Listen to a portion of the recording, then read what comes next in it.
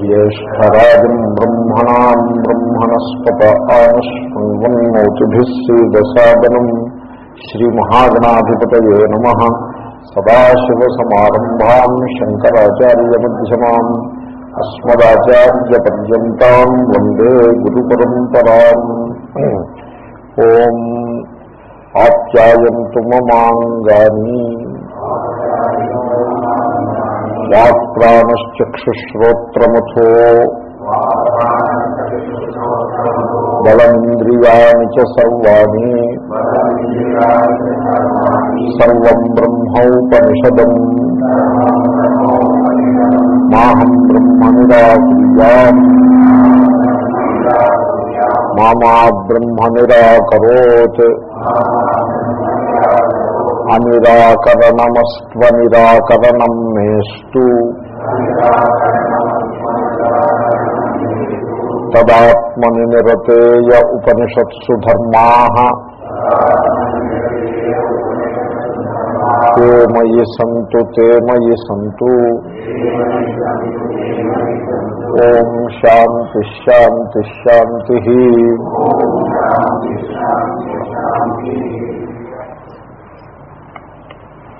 నత్ర వాగ్గచ్చ నత్ర చక్షుర్గచ్చతి నవాగ్గచ్చతి no మన న విద్మో న విజానీమ యథైతదను శిష్యాత్ యా సో న విద్మహ న విజానీమ యథైతదను శిష్యాత్ అది ఇంద్రియగోచరము కాదు మనోగోచరము కాదు. వాక్కుతోటి వర్ణించుటకైనను శక్యము కానిది. కనుక మనకి మనచే తెలియబడే సర్వము కంటే పరబ్రహ్మ విలక్షణంగా ఉంటుంది. మనచే తెలియబడే ఏది పరబ్రహ్మ అవుతుంది ఎందుకంటే ఆ తెలుసుకునేటువంటి ద్రష్ట లేక జ్ఞాత యొక్క స్వరూపమై ఉన్నది. కనుక జ్ఞాతచేత తెలియబడేది ఎన్నటికీ పరబ్రహ్మ కాజాలదు.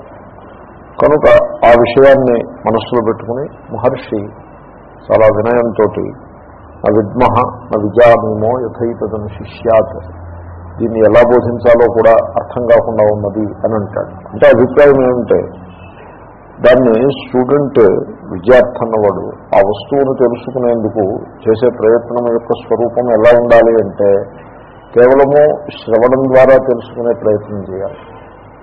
అంతేగాని తనకున్నటువంటి ఇంద్రియ శక్తిని ఇంద్రియ పాఠవాన్ని వినియోగించి దీన్ని నేను సాధిస్తాను అనే ప్రయత్నమే చేయరాదు.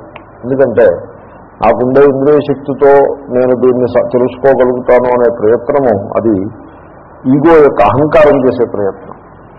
అహంకారం నిలిచి ప్రయత్నం చేస్తున్నంతసేపు ఆ వస్తువు తెలియబడదు. సో ఆ వస్తువును తెలుసుకోవాలంటే the man should transcend himself అప్పుడు మాత్రమే దాన్ని తెలుసుకోగలుగుతాడు. తను తానుగా నిలబడి ఉన్నంత కాలము ఒక పరిచ్ఛిన్న వ్యక్తిగా అహం అనే భావనతో నిలిచి ఉన్నంత కాలము వ్యక్తి తెలియబడదు. కాబట్టి అహంని విలీనం చేసినప్పుడు వస్తువులో విలీనం అవుతాడంతే ఇది the only way to know the వస్తు ఇది ఎలాగంటే ఒక తరంగము సముద్రాన్ని తెలుసుకోవడం నటి తరంగం సముద్రాన్ని తెలుసుకోవాలంటే ఒక్కటే ఉపాయం ఉన్నది. అదేమిటంటే తరంగం సముద్రంలో విలీనమైపోవటమే. అంతే. ఆ విధంగా తెలుసుకోవడమే సంభవం అవుతుంది కానీ మరి ఇంకే విధంగానూ తెలుసుకోవడం సంభవం కాదు. అంచేతనే ఆ వ్యక్తిత్వము లేక అహంకారాన్ని క్రమంగా దాన్ని ప్రభావహీనంగా చేసి వ్యక్తి తనకం తనకంటే తాను ఉన్నత స్థానానికి చేరుకోవాలి అన్నట్లయితే అంటే it's a journey from me to myself from myself to myself from the I to the I from the lower limited I నుండి హయ్యర్ అన్లిమిటెడ్ ఐలోకి ప్రయాణం.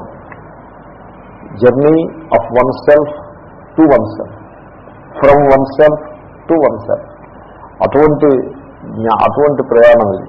కాబట్టి దీనిలో శ్రవణాన్ని ప్రధానమైన సాధనంగా బోధిస్తారు. కాబట్టి మహాత్ముల వద్ద శ్రవణం చేయటం తప్పించి దీనికి మరో మార్గం లేదు. అది ఒక సూచన ఆ వాక్యంలో. నా విజానీమో యథైత శిష్యాత్ అనే వాక్యంలో. తర్వాత మరో ప్రధానమైన సూచన ఏమిటంటే మహాత్ముల యొక్క సంఘంలో ఉండుట ఆ వాతావరణము లోకల్ కాన్షియస్నెస్ అని లేకపోతే వరల్డ్ కాన్షియస్నెస్ అనేది ఏదైతే కలదో దాని నుండి క్రమంగా వ్యక్తి అతీతుడుగా ఆ ఈశ్వర ఈశ్వర చైతన్యము అని అంటారు. కృష్ణ కాన్షియస్నెస్ అంటే that is not what the people of Krishna consciousness సొసైటీసే the Krishna consciousness అంటే సర్వమునందు తనతో సహా తన పరిచ్ఛిన్న వ్యక్తిత్వంతో సహా సర్వమును ఈశ్వరుని ఎందు విలీనము చేసేటువంటి ఆ సామర్థ్యము రావాల్సి ఉంటుంది. అప్పుడు మాత్రమే వ్యక్తి ఆత్మస్వరూపాన్ని తెలుసుకోగలుగుతాడు అని ఆ విధంగా గైడెన్స్ ఇవ్వడం కోసం అలా అంటున్నారు. నా ఆఖరి వాక్యాన్ని చూస్తూ ఉన్నాము. సో నవిజ్ఞాన విచారీమహ యథైతదని శిష్యాతి ఉపదేశే తదర్థగ్రహణే చ యత్నాతిశయ దర్శయతి. ఈ వాక్యము నవిద్మోన విజానీమో యథైతదను శిష్యాత్ అనేటువంటి ఈ విశిష్టమైనటువంటి వాక్యానికి తాత్పర్యం ఏమనగా దీన్ని ఉపదేశం చేసేప్పుడు ఆచార్యుడు విశ ప్రత్యేక ప్రయత్నాన్ని చేయాల్సి ఉంటుంది. యత్నాధిక్యం. యత్నాతిశయ కర్తవ్యత అతిశయమైనటువంటి ప్రయత్నాన్ని ఆచార్యుడు చేయవలసి ఉంటుంది. ఎంతో ప్యాషన్ తోటి టీచ్ చేయాల్సి ఉంటుంది. ఎంతో ఎంతో ఉత్సాహంతో అవగాహనతోటి ఒక విషంతో దీనిని విద్యార్థి ఎలాగైనా తెలుసుకోవాలి. తెలుసుకోవటం కష్టం వర్ణించటం కష్టం అయినా వర్ణించాలి. తెలుసుకోవటం కష్టం సంభవం కాదు. అయినా తెలుసుకునే ప్రయత్నం చేయాలి. అని ఆ విధమైనటువంటి ఒక ప్యాషన్ తోటి దాన్ని బోధించాల్సి ఉంటుంది ఆచార్యుడు. సో తర్వాత ఆచార్యుడు ఒక స్టేల్గా బోధించటానికి వీల్లేదు. యత్నాతిశయ కర్తవ్యతాం దర్శయతి కొంతమంది ఏం చేస్తారంటే తత్వబోధ చదువుతారు. చదివి ఇంకా పడిగట్టు పదాలు పట్టుకుని ఆ బ్రహ్మ పదార్థం అంటూ ఉంటారు. మనం బ్రహ్మ పదార్థాన్ని ఈ బ్రహ్మ పదార్థం ఈ పదార్థం అనే మాట అసలు it is the worst thing that can be apply to the Brahma then the use such words సత్యం జ్ఞానమనందం బ్రహ్మ అని లేదా బ్రహ్మ పదార్థం అని సో ఇలాగా అహం బ్రహ్మాస్మి అని ఏవో కొన్ని పొడిగట్టు పదాలు ఏదో అంటూ ఉంటారు అలాగా. ఉంటే the words are wiser than the person. పలికే మాటలు చాలా గంభీరమైనవి. కానీ ఆ గాంభీర్యం ఆ వ్యక్తి ఏమి ఉండాలి. ఫైనల్గా words themselves do not have any power whatever power the words have that comes from the person ఎందుకంటే ఈ జగత్తులో ఏ శక్తి ఎక్కడ ఉన్నా అది ఆత్మస్వరూపం నుంచి రావాల్సిందే అది. కాబట్టి ఆచార్యుని యొక్క ఆచార్యుని విషయంలో యత్నాతిశయ కర్తవ్యతాన్ని దర్శయతి. ఆచార్యుడు చాలా అతిశయమైనటువంటి యత్నాన్ని కూడా చేయాల్సి ఉంటుంది. ఇంకా శిష్యుడు కూడా తదర్థగ్రహణేచ శిష్యుని విషయంలో కూడా ప్రత్యేకమైనటువంటి ప్రయత్నాన్ని చేయాల్సి ఉంటుంది. ఏమిటి ప్రయత్నం ఎలా ఉంటుందంటే మోరల్ డిసిప్లిన్ బాగా డెవలప్ చేసుకోవాలి. ప్యూరిటీ ఆఫ్ మైండ్ లేకుండా అహంకారమును అధిగమించుట అసంభవం. అసలు మనం చేసే ప్రతి ప్రయత్నము అహంకారాన్ని బలంగా నిలబెట్టేదిగానే ఉంటుంది. ప్రతి ప్రయత్నం కూడా అహంకారాన్ని సపోర్ట్ చేసేదే. లౌకిక కార్యాలు మీరు ఎన్ని చేస్తూ ఉంటారో అన్ని అహంకారాన్ని బలం చేసేవే నిష్కామ కర్మయోగాన్ని అనుష్ఠిస్తే శ్రీకృష్ణుడు భగవద్గీతలో చెప్పినట్టుగా there you are making a simple effort to disidentify with the body or with a given personality కాబట్టి అందుకోసం నిష్కామ కర్మయోగం చాలా ప్రధానమవుతుంది. సపోజ్ మీరు ఒక కామ్యకర్మం చేస్తున్నారనుకోండి ఒక కామనతోటి కర్మ చేస్తున్నారనుకోండి మీరు గమనించండి ఆ కర్మలో ఆహుతులు ద్రవ్యాలు దేవత మంత్రాలు అన్నీ ఉంటాయి. ఇవన్నీ ఆ కామన చుట్టూ పరిభ్రమిస్తాయి. ఆ కామన జీవుని ఆ అహం చుట్టూ పరిభ్రమిస్తుంది. కాబట్టి మొత్తం కర్మంతా కూడా ఆ అహంకి అంగం అయిపోతుంది కాబట్టి ఒక అహం ఉంటుంది ఆ అహమ్ముని బలపరిచేది అయిపోతుంది అంచేతనే కామ్యకర్మ చేసిన వెంటనే now you have a different అహం. వెరీ మోర్ పవర్ఫుల్ అహం అంచేతనే కర్మానుష్ఠానం చేసేవాళ్ళు లో this kind of a paradox you can see whole year than dough పురాణాల్లో దక్షుడని ఒకడు ఉంటాడు. దక్ష దక్షుడని ఒకడు. దక్ష అంటే సమర్థ వాడు కర్మ కర్మ చేయటంలో దిట్ట. అంచేతనే వాడు పేరే దక్షుడు. వాడు వాజపేయ నిష్ఠ బృహస్పతి సలైన విజేత అని వాజపేయ యాగం చేసి బృహస్పతి సమం చేయాలి. సో వాజపేయ యాగం పూర్తి చేశాడు. అంటే చాలా పెద్ద యాగాన్ని గొప్ప యాగాన్ని పూర్తి చేశాడు. ఇప్పుడు అంతకంటే గొప్పది చేస్తున్నాడు. బృహస్పతి సమము అనే యాగాన్ని. చేస్తున్నప్పుడు వాడి ఎందు ఉన్న అహంకారము ఎంత అద్భుతమైన అహంకారం అంటే ఇంకా ఊహకు అందని అహంకారం. ఆ అహంకారంతో శివుణ్ణి నిందిస్తాడు. అని మీరు ఆ దక్షయజ్ఞ గాథ వినే ఉంటారు. సో ఆ విధంగా సో వాడు దక్షుడు సమర్థుడయ్యుండి గొప్పగా యజ్ఞం చేసిన తర్వాత వాడికి లభించినటువంటి పరిస్థితి ఏంటి అంటే బలీయమైన అహంకారం లభించింది. చాలా విడ్డూరమైన పరిస్థితి. కాబట్టి కామ్య కర్మ అనేప్పటికీ దాంట్లో అహంకారాన్ని అది బలం చేసి పెడుతుంది. అలాగే భయం ఉందనుకోండి మీరు భయపడుతున్నారు అంటే ఆ భయపడే భయపడుట అనేది అది అహంకారాన్ని బలం చేసేది. భయ దేనికి భయపడుతున్నారు? దేనికో దానికి భయపడాలి కదా. ఇప్పుడు కూడా భయం అన్నది బాడీకి కేంద్రితమై ఉంటుంది. ఈ దేహానికి ఏదో హాని కలుగుతుందేమో. లేకపోతే తనకు ఒక అధికారం ఉన్నట్లయితే పవర్ ఆ పవర్ చేజారిపోతుందేమో. తనకి ధనం ఉన్నట్లయితే ఈ ధనము తనకు కాకుండా పోతుందేమో. అని ఈ విధంగా ఏదో ఒక భయం ఉంటుంది. కాబట్టి ప్రతి భయము కూడా అది అహం పరిచ్ఛిన్న వ్యక్తిత్వాన్ని అహంని బలం చేస్తూ ఉంటుంది. అంచేతనే మీరు కామనల వెనుక భయాల వెనుక పడిపోతూ నిరంతరము అదే దృష్టికోణంలో ఉండి అప్పుడప్పుడు ఉంటే అహం బ్రహ్మాస్మి సోహం అంటే nothing will happy it is not going to work అది బ్యాక్ అండ్ ఫోర్ మెడిటేషన్ కూడా అలాగే ఉంటుంది. మెడిటేషన్లో కూడా మెడిటేషన్ అంటే ఏంటి? మనస్సులో సంకల్పాలు తగ్గించాలి. అదే కదా మెడిటేషన్ అంటే. మనస్సులో సంకల్పాలు చాలా చిత్ర చిత్రాలుగా అన్ని డైరెక్షన్స్లో ఇన్ఫినిట్ డైరెక్షన్స్లో వెళ్ళిపోతూ ఉంటాయి. ఓసారి ఇటు ఓసారి అటు. మహావేగంతో the quantity of thoughts is so high the frequency of thoughts is so high now you want to reduce that frequency ఎందుకని why you should reduce because you cannot live with that frequency it is not possible అంత వేగంగా మనస్సు పనిచేస్తుంటే మనిషికి అది జీవితం నరకం అయిపోతుంది. అది ఒక రోగం అది అది మానసిక వ్యాధి. దాంతో బతకలేడు. అందుకోసం he knows and there is no solution tablet వేసుకుంటే మనస్సుకి దేర్ ఆర్ ట్యాబ్లెట్స్ ఏమి దురదృష్టం అని చెప్పండి. సో మైండ్ యాక్టివిటీని తగ్గించే ట్యాబ్లెట్స్ ఉన్నాయి. ట్యాబ్లెట్ వేసుకుంటున్నానంటే అర్థం ఏంటి? That means he has totally lost all control over the mind tablet వేసుకునే స్థితికి చేరుకున్నాడంటే అది అర్థం. ఆ స్థితికి మనుషులు చేరిపోతూ ఉంటారు. అంచేతన యునైటెడ్ స్టేట్స్లో సైకోట్రోపిక్ డ్రగ్స్ అంటే మైండ్ మైండ్ బిహేవియర్ని ఆల్టర్ చేసే drugs they are consumed in the largest quantities ఎందుకంటే mind becomes hyper active and nobody knows what to do with it and then the techniques of meditation are the most popular things all over the world ఎందుకంటే mind is becoming more stressful చాలా anxiety hyper activity పెరిగిపోతుంది మనస్సుకి అది ఎవరికి అనుకూలంగా ఉండదు దాంతో psychotropic drugs mind behaviour behaviour altering డ్రగ్స్కి మార్కెట్ పెరిగిపోతుంది మెడిటేషన్ టెక్నిక్స్ యొక్క మార్కెట్ కూడా పెరిగిపోతుంది ఇప్పుడు అమెరికాలో ప్రతిదాన్ని మార్కెట్ సర్వే చేసేస్తారు వాళ్ళు ప్రతిదాన్ని వాళ్ళు చేసే సర్వే చూస్తుంటే అసలు అంత కంప్యూటర్స్ ఉంటాయి కదండి మీరు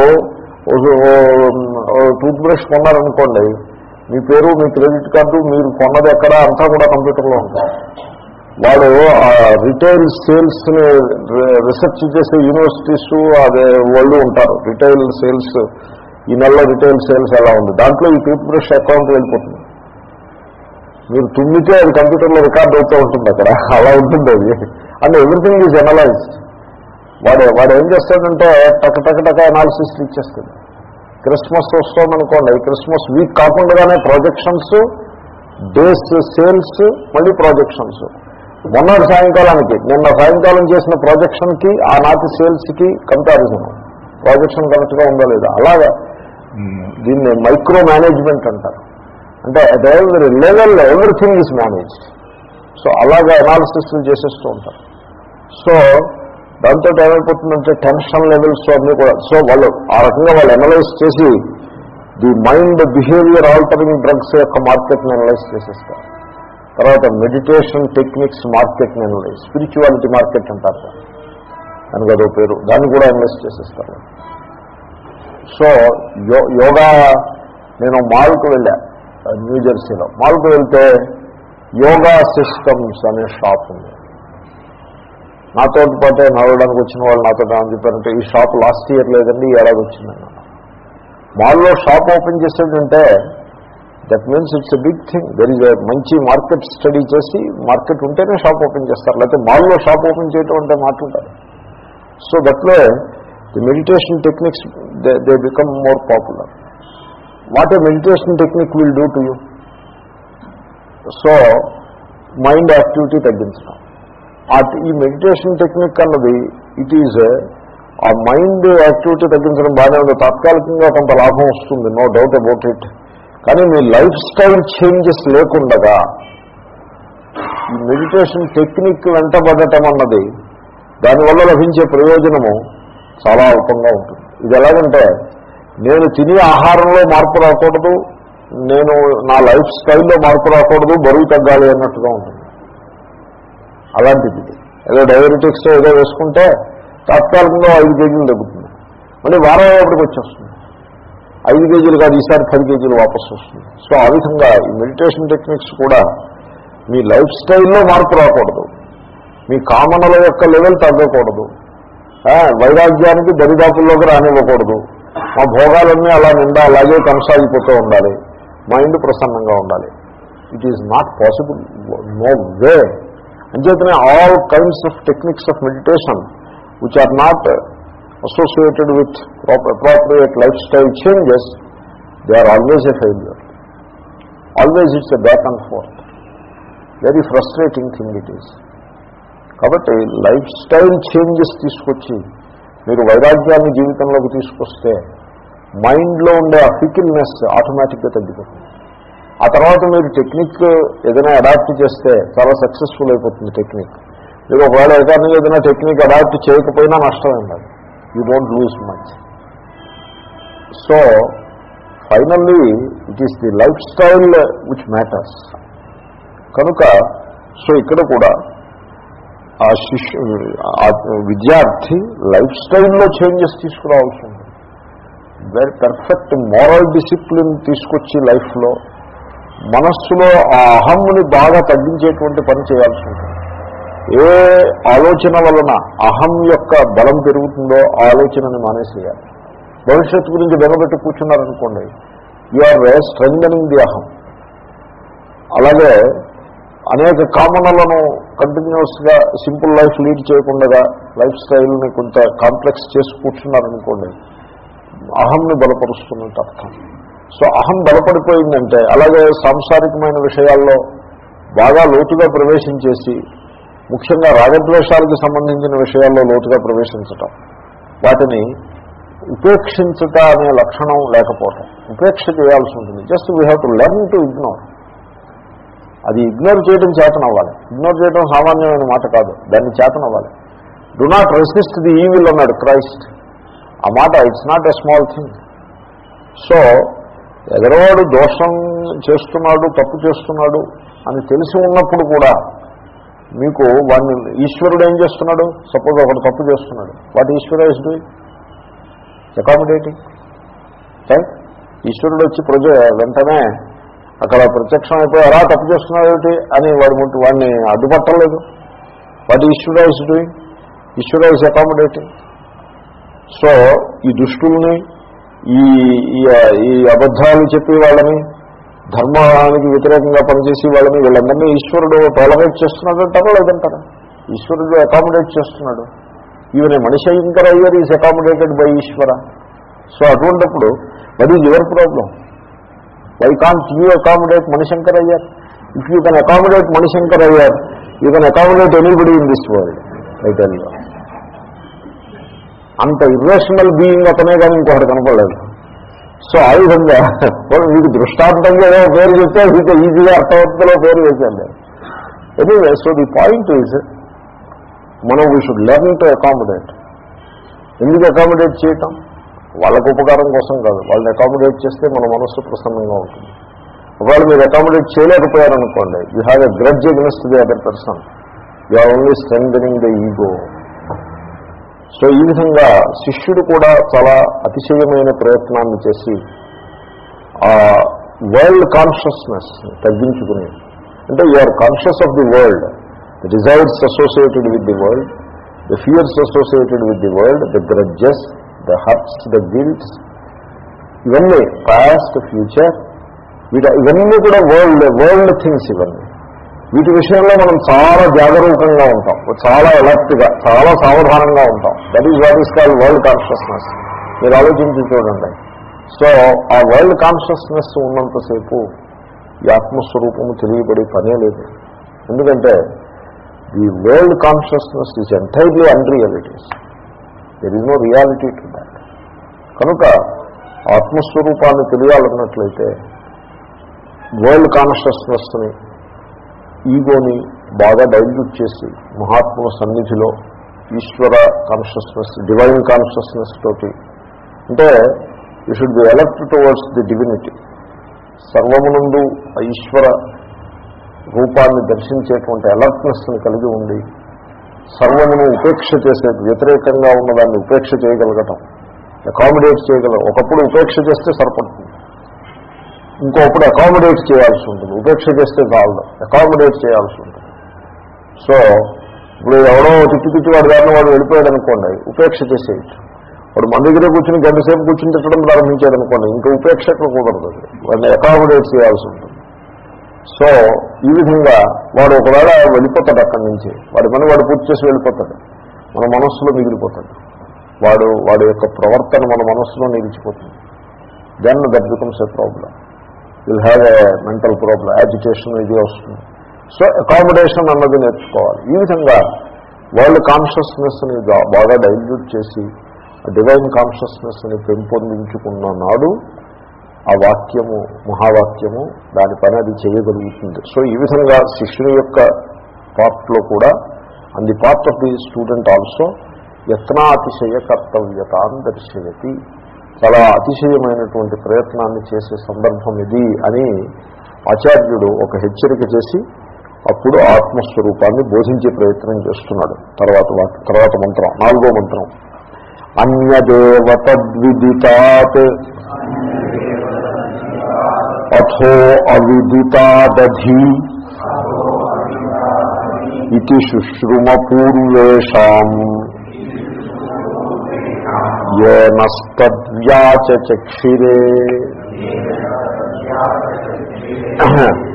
ఇక్కడ ఒక మంత్రాన్ని మంత్రము లేక ఆగమము ఒక అద్భుతమైన సత్యాన్ని బోధించే వాక్యాన్ని కనుక ఆగమము అని పేరు. దాన్ని మంత్రము అని కూడా అనొచ్చు.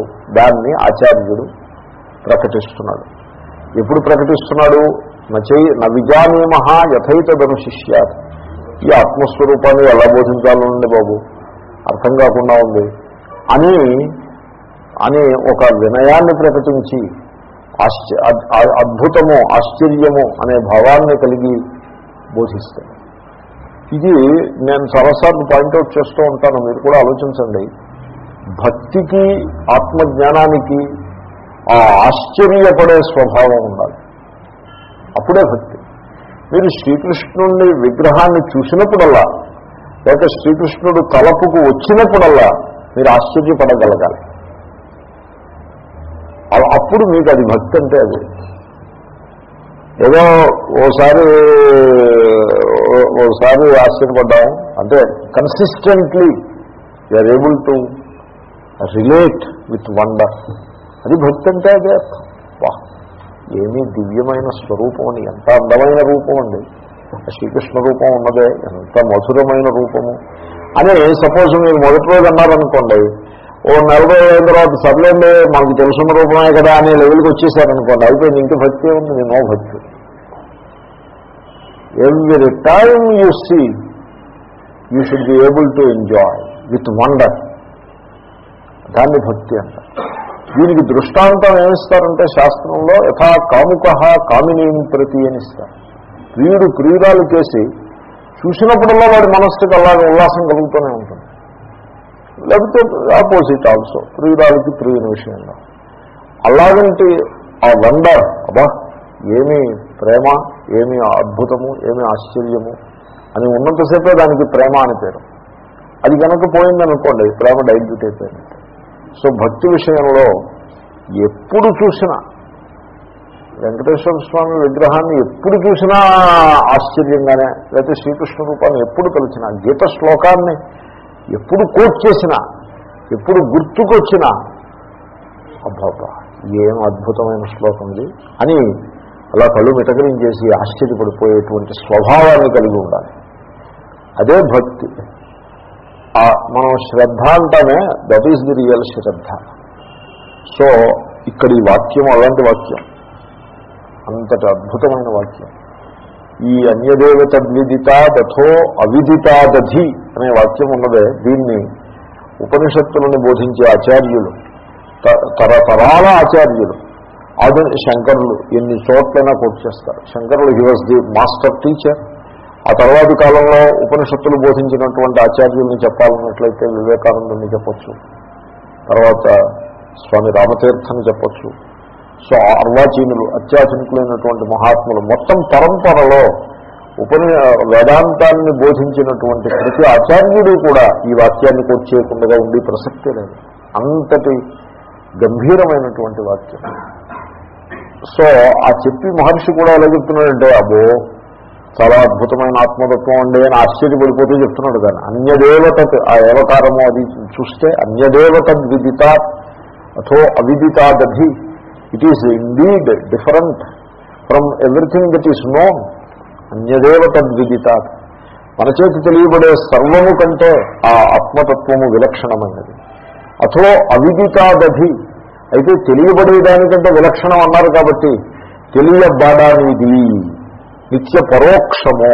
It is not to be known అనే కేటగిరీలో వేద్దాము అంటే నో ఆ కేటగిరీలో వేస్తే ఇంకా ఆశ్చర్యమే ఉందండి. ఇది తెలిసింది అది తెలియంది. దాంట్లో ఆశ్చర్యమే ఉంది. సో ఆ కేటగిరీలో వేయడానికి కూడా వీలు లేదు. అవిదితాత్ అధి. It transcends even the unknown అని ఈ విధంగా ఒక చాలా ఎనిగ్మాటిక్ ఉన్నట్టుగా అనిపించేటువంటిది అత్యాశ్చర్యకరమైన వాక్యము దానికి ఆగమము అని పేరు. ఆ ఆగమాన్ని చెప్పి ఇంత మాత్రమే మేము ఆత్మస్వరూపాన్ని గురించి ఈ ధోరణిలో మాత్రమే చెప్పగలము. మేమే కాదు మా పూర్వీకులు కూడా ఇలాగే చెప్పారు.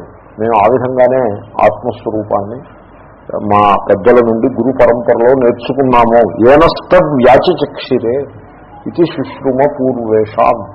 ఆ మహాత్ములు మా యొక్క గురుదేవులు వారి గురువులు వారి గురువులు వాళ్ళందరూ కూడా ఇలాగే చెప్పారు. దాన్ని ఆ విధంగానే మాకు నిరూపించినారు. మేము ఆ విధంగానే మీకు చెప్పబోతున్నాము అని అని అంటూ గొప్ప వినయంతో ఆచార్యుడు ఆయన ఆ ఆగమాన్ని బోధిస్తాడు. భాష్యం ఉందాము అత్యంతమేవ ఉపదేశ ప్రకార ప్రత్యాఖ్యానే ప్రాప్తే తదపవాదోయముచ్యతే. ఇప్పుడు నవిద్మో న విజానీమ యథైతదనుశిష్యాత్ అనేసారనుకోండి అదే ఇది మాకు తెలియలేదు. దాన్ని ఏ విధంగా శిష్యులకు బోధించాలి అన్నది కూడా మాకు అర్థం కావటం లేదండి అని ఊరుకున్నారనుకోండి. అప్పుడు next what next there is no next over అలాగే భ్రమపడతారేమో. దాన్ని ఏమంటారంటే ఉపదేశ ప్రకార ప్రత్యాఖ్యాని. ఎలా బోధించాలో తెలియట్లేదండి అన్నదంటే అదే ఈయనకు ఉపదేశం చేసే పద్ధతి ఈయనకి తెలియదయా ఎలా బోధించాలో తెలియట్లేదు అంటున్నాడు. ఈయన వల్ల వదిలే పోనీలే. ఇంకొక ఆయన ఉన్నారు అక్కడ ఆయన దగ్గరికి వెళ్దాం అని అలా పరిగెత్తారనుకోండి. ఆయన అడిగి ఏమన్నా మీరు ఆత్మస్వరూపాన్ని బోధించగలరా అంట? నేను బోధిస్తాను. నేను ఉన్నదే అందు గురించి. రండి అని అన్నారు అనుకోండి ఆయన.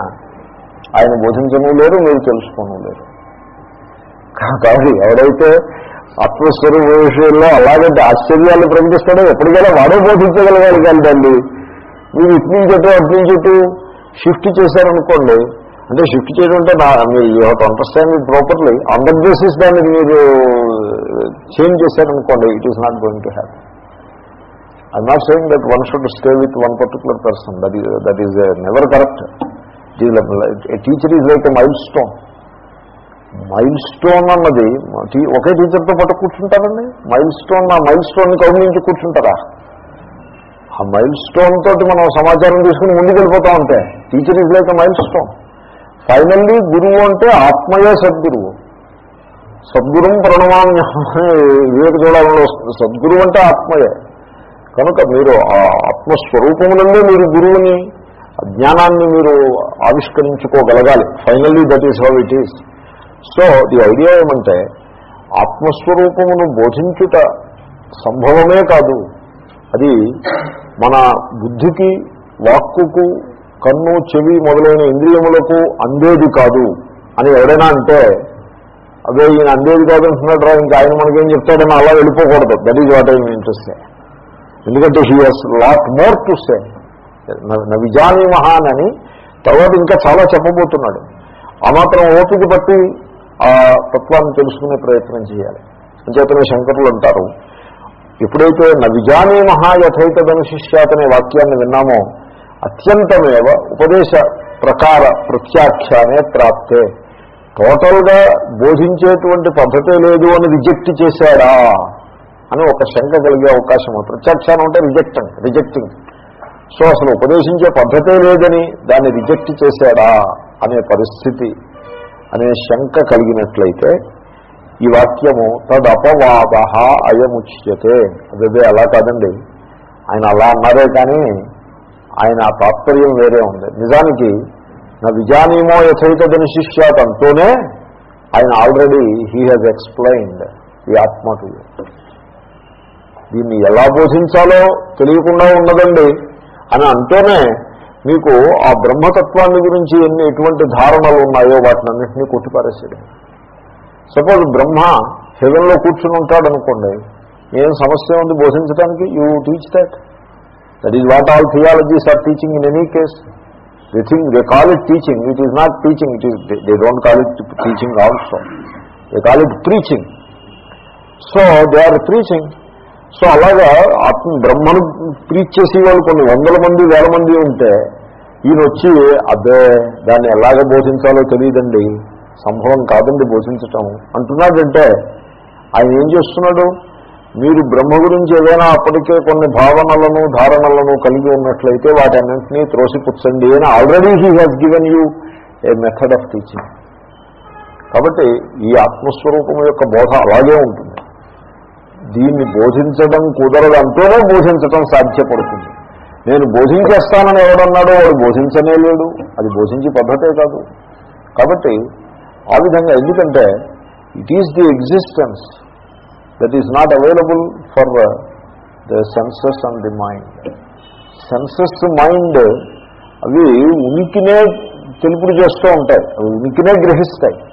కానీ ఉనికి అనే అనే సత్యాన్ని తెలుసుకోకుండా ఉనికిని గ్రహిస్తాయి. ఆ ఉనికి మీద ఉన్నటువంటి నామరూప ఆరూపాన్ని గ్రహిస్తాయి. The crust of names and forms అని. సో ఇప్పుడు సముద్రం పైన పై లెవెల్ ఈ మంచు గడ్డగట్టిందనుకోండి మీకు ఏమనిపిస్తుంది సముద్రం అంతా మంచులో అనిపిస్తుంది.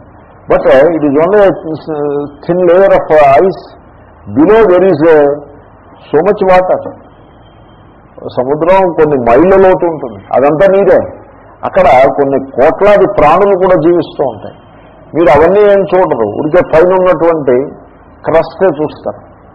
సో ఆ విధంగా ఈ జగత్తును చూసేప్పుడు నేమ్స్ అండ్ ఫార్మ్స్ చూడడం అంటే అది. The crust of the upper crust of names and forms మీరు చూస్తున్నారే కానీ వాస్తవంలో it is like a tip of the iceberg the entire iceberg is within the within so ఆ names and forms they are not real in themselves అవి ఏం చేస్తున్నాయంటే వాటి వాటి అధిష్టానంగా ఉన్నటువంటి ఒక అద్భుతమైన సత్యాన్ని అవి ప్రకటిస్తూ ఉన్నాయి. అలాగే ఇంద్రియాలు కూడా. శ్రోత్రము నేత్రము ఇత్యాది ఇంద్రియములు అవి ఏవో కొన్ని అనుభవాలు తీసుకొస్తున్నాయి. ఆ అనుభవాలు ఇంద్రియానుభవములు తమంత తాముగా అవి సత్యము కావు వాటికి వాల్యూ కూడా లేదు. ఎందుకంటే అలా వస్తుంది ఇలా పోతుంది దానికి వాల్యూ ఏముంటుంది? సో అవి సత్యం కూడా కాదు. కానీ అట్ ది సేమ్ టైం తాము సత్యము కాకుండా ఆ సత్య వస్తువు తమ ఎందు ప్రకటమవుతున్న కారణంగా ఈ ఇంద్రియములు ఆ సత్య వస్తువు కేసి point out చేయగలుగుతాయి. They can show you the way towards the ultimate reality కాబట్టి సో ఉపద ఎవడైతే ఇంద్రియములకు మనస్సుకు ఇది అందుబాటులో ఉంటుంది అనే ధోరణితోటి ముందుకు తీసుకొస్తాడో వాడిని మీరు వెంటనే రిజెక్ట్ చేయాల్సి ఉంటుంది. Fine because he will only give you a different set of names and forms that's all మీకేమో కొన్ని set of names and forms వీళ్ళు కన్వర్షన్స్ చేస్తారు. క్రిస్టియన్ మిషన్ తీసి కన్వర్షన్స్ చేస్తారు. What they give you what what is it that they give to the people వాడు అంతకుముందు రాముడు అంటూ ఉండేవాడు ఇప్పుడు రాముడు అన్నం మానేసి ఇంకో పేరు పెడతాడు వాడు అంతకుముందు రాముడు అన్నప్పుడు వాడికి రాముడు ఏమిటో తెలియదు. ఇప్పుడు ఇంకో పేరు వీడు చెప్పాడు. చెప్పిన వాడికి ఇంకో పేరు ఏమిటో తెలియదు. ఇంక వీడికేం తెలుస్తుంది? అంధేనేమ నియమాన యథాంధ. ఒక అంధుడు ఇంకో అంధుడిని చేపట్టుకు నడిపిస్తుంటే వాడిగా కనపడదు. వీడికేం చూపిస్తాడు? కాబట్టి వీడు ఒక ఈ ట్రైబల్స్ వీళ్ళు అంతకుముందు హనుమంతుడు ఏదో పూజ చేస్తూ ఉండేవారు ఇప్పుడు హనుమంతుడిని పక్కన పారేసి ఏదో క్రీస్తు అంటూ ఉంటారు కృష్ణుడు తెలుసు అన్నమాట కాదు అది. వాడికి ఆ- దారిలో పెట్టిన వాడికి తెలియదు వీడికి ఏం తెలుస్తుంది? కాబట్టి ఒక సెట్ ఆఫ్ నేమ్స్ తీసేసి ఇంకో సెట్ ఆఫ్ నేమ్స్ ఈ సెట్ ఆఫ్ నేమ్స్ ఆ set of names just it's an upper crust only it is not the reality in any case కాబట్టి ఎవడైతే నాకు దేవుడు తెలుసు ఇదిగో దేవుడిని నీకు నేను బోధిస్తానంటాడో వాడు ఎప్పటికీ తెలియని వాడే కనుక ఆ ఉపదేశ ప్రకారమే లేదని అనుకోరాదు. దేవుడికి వర్ణించటం సాధ్యం కాదు అని చెప్పటం ద్వారా ఆ ఈశ్వరుని యొక్క స్వరూపాన్ని మనకి హింట్ అదొక హింట్ రూపంగా ఒక సజెషన్ రూపంగా ఆచార్యుడు బోధిస్తూనే ఉన్నాడు. నిజానికి ఎవడైతే ఆత్మస్వరూపము బోధింప శక్యము కానిది అంటాడో వాడే యథార్థంగా తెలుసున్నవాడు. మీరు వాడినే పట్టుకోవాలి. ఉంటే పది చోట్లకి పరిగెత్తి ఉపయోగం లేదు. ఎవడైతే నాకు నేను చెప్పేస్తానంటాడో వాడి వాడిని పక్కన పెట్టాలి.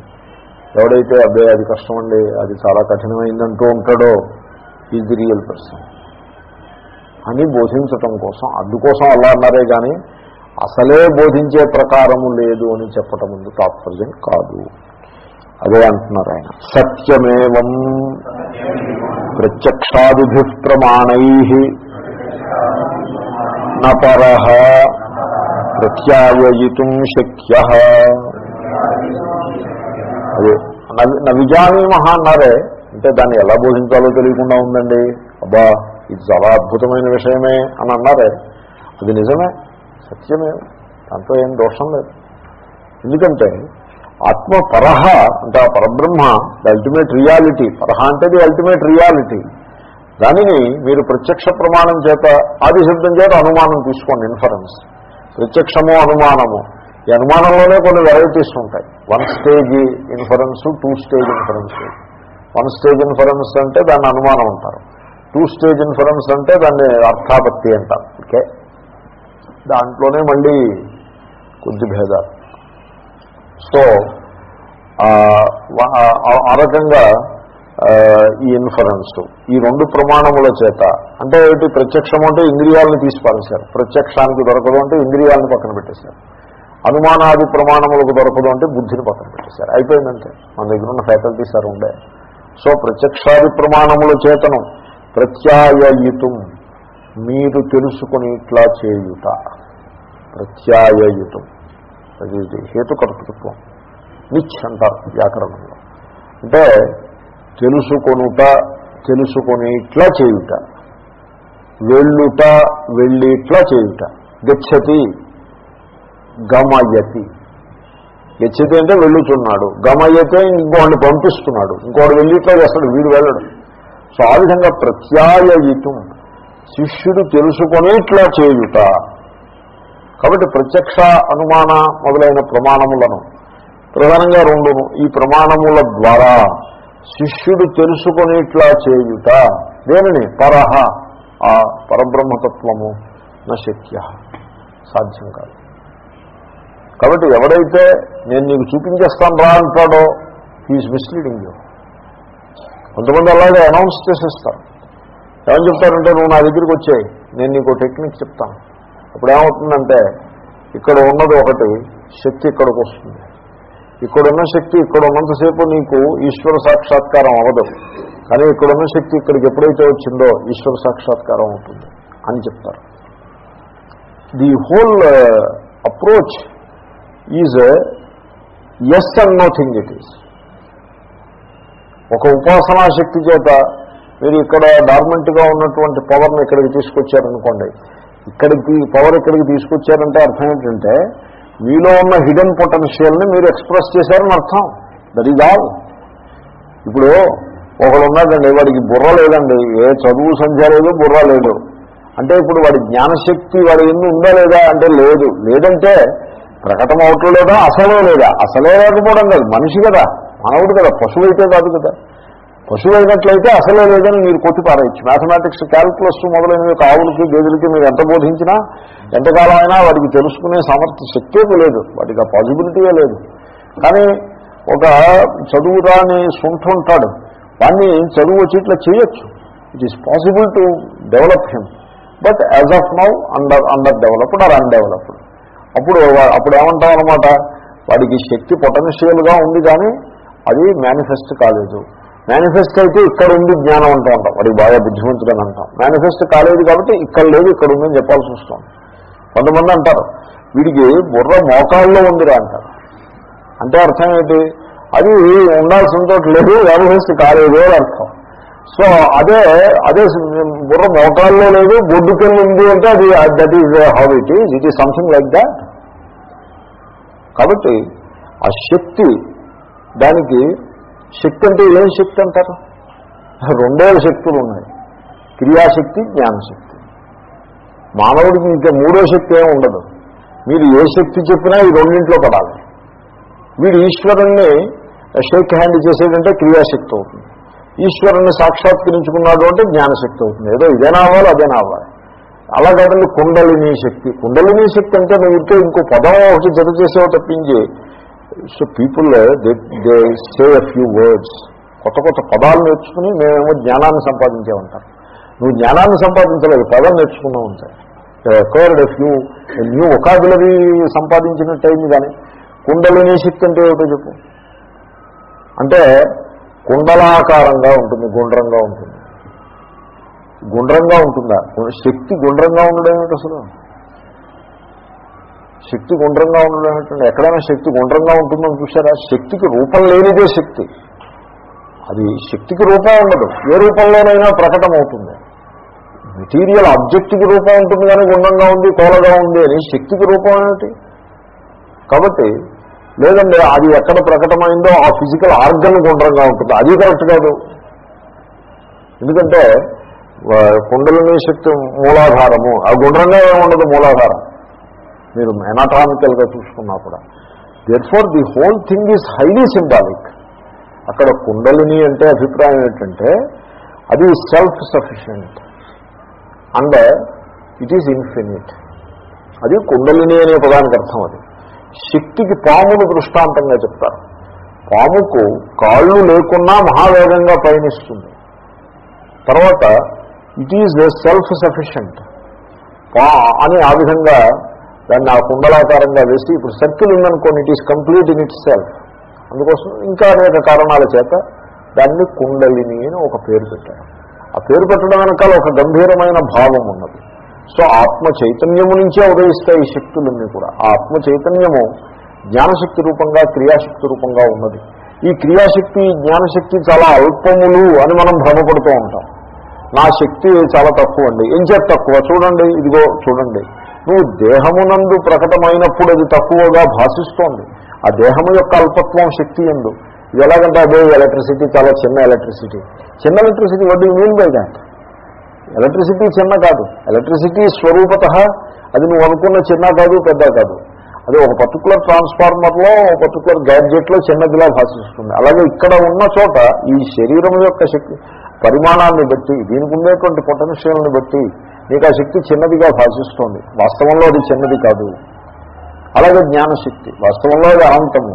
కుండలిని అంటే అర్థం మరి అది ఆ శక్తి అనంతమైతే నాలో క్రియాశక్తి అనంతంగా ఉండాలి జ్ఞానశక్తి అనంతంగా ఉండాలి అంటే నాలో అంటే నీ అభిప్రాయం ఏమిటి? ఇదిగో అక్కడే వచ్చింది పొరపాటు. దేహం నువ్వు కానే కాదు.